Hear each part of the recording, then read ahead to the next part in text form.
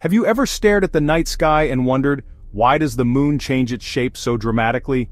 Get ready, we're about to uncover the electrifying science behind lunar phases.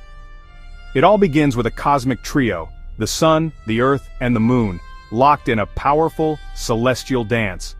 As the moon races around Earth, sunlight blasts different parts of its surface, creating the ever-changing phases we witness, night after night.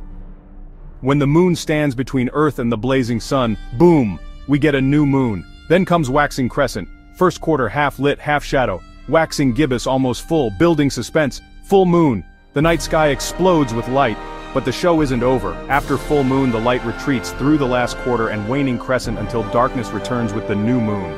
This epic cycle takes about 29.5 days shaping tides, stirring wildlife and even influencing us. Ready to blast off and explore more of the cosmos? Smash that subscribe button for more mind-blowing discoveries with cosmic explorations.